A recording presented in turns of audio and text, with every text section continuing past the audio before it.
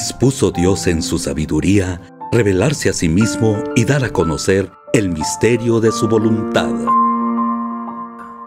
El Evangelio del Día, en voz de Monseñor Enrique Díaz, a través de Radio María, voz de esperanza.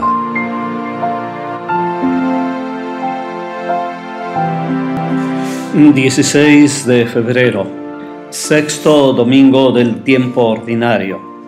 Evangelio de San Mateo, versículos del 17 al 37, en su versión breve. En aquel tiempo Jesús dijo a sus discípulos, Les aseguro que si su justicia no es mayor que la de los escribas y fariseos, ciertamente no entrarán ustedes en el reino de los cielos. Han oído ustedes que se dijo a los antiguos, no matarás, y el que mate será llevado ante el tribunal. Pero yo les digo, todo el que se enoje con su hermano será llevado también ante el tribunal. También han oído ustedes que se dijo a los antiguos, no cometerás adulterio. Pero yo les digo que quien mire con malos deseos a una mujer y ya cometió adulterio con ella en su corazón. Han oído ustedes que se dijo a los antiguos, no jurarás en falso, y le cumplirás al Señor lo que le hayas prometido con juramento. Pero yo les digo, no juren de ninguna manera, ni por el cielo que es el trono de Dios, ni por la tierra porque es donde Él pone los pies, ni por Jerusalén que es la ciudad del gran rey. Tampoco jures por tu cabeza, porque no puedes hacer blanco o negro uno solo de tus cabellos. Digan simplemente sí cuando es sí y no cuando es no. Lo que se diga de más viene del maligno. ¿Qué pensará Jesús de nuestra forma de vivir y de actuar en relación con la ley? En este texto sus palabras revelan la tensión de sus propuestas en su tiempo y ahora. Había quienes alegremente decían que toda la ley estaba superada y ahora se podría vivir en libertad dejando a un lado la ley de Moisés. Otro grupo se aferraba a la ley y entendía que Jesús era un cumplidor de la ley y que así se lo exigía a los nuevos adeptos. ¿Cristo quiere abolir la ley? No. Cristo quiere encontrar el verdadero sentido de la ley y darle su justo valor.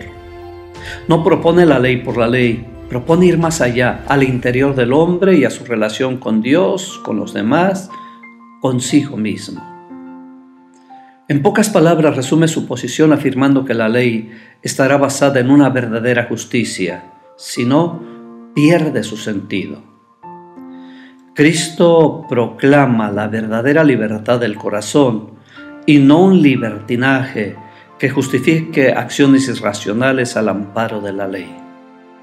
Cristo mira el corazón del hombre y quiere poner en él una nueva ley basada en la justicia y en el amor, con relaciones que se centren en el, reconocimiento de cada persona como hijo de Dios, como heredero del reino. Atrás queda el formalismo y el legalismo que cosifican a las personas y las someten al yugo de leyes sustentadas en el capricho de unos cuantos.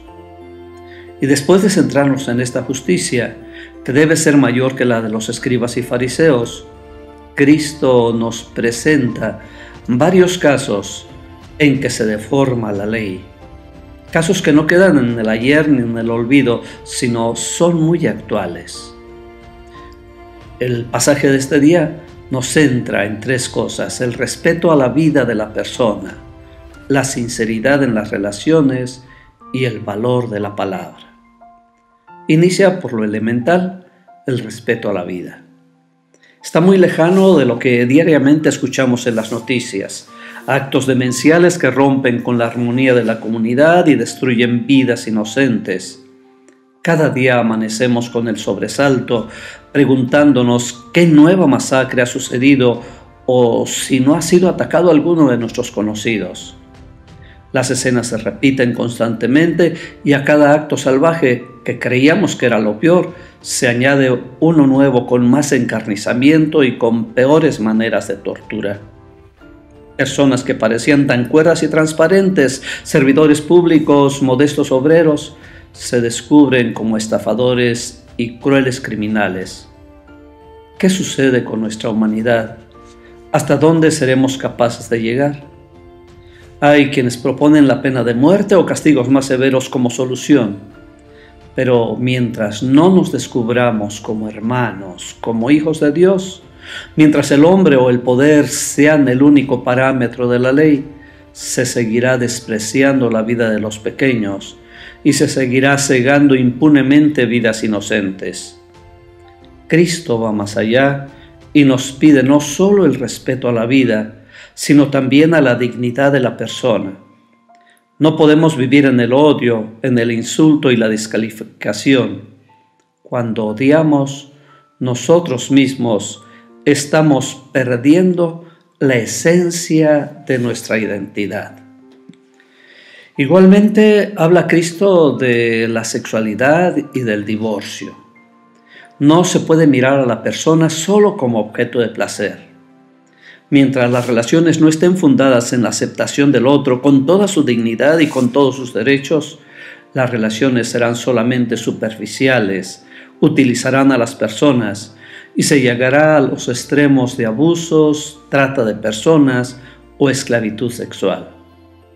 Con frecuencia entramos en la dinámica del mundo del poder y del placer y nos olvidamos que el amor conyugal está llamado a ser exclusivo, total e incondicional para toda la vida.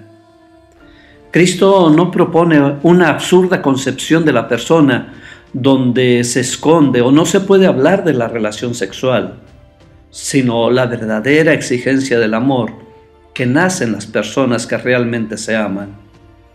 Nuestra sociedad necesita personas que sepan vivir, testimoniar y defender el proyecto del amor indisoluble. Personas que vayan más allá de la búsqueda del placer irresponsable. Jóvenes que se arriesguen a vivir en plenitud un amor fiel, responsable, comprometido. Finalmente, Cristo resalta el valor de la palabra.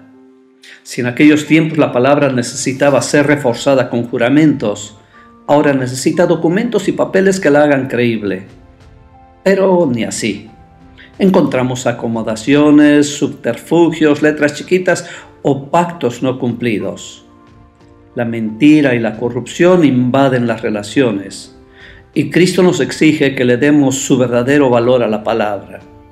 Él, que es la palabra hecha carne, la palabra hecha relación, nos pide que seamos coherentes con lo que hablamos.